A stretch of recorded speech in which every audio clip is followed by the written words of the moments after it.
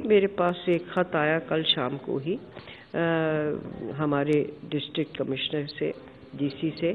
कि जो एसडीएम साहिबा गई थी उनका आ, वो करने के रिकॉर्ड करने के लिए बयान उससे उन्हें तकलीफ़ हुई उनको नहीं किया गया और कुछ झड़प भी हुई तो क्योंकि वो कंप्लेंट आया था मेरे पास और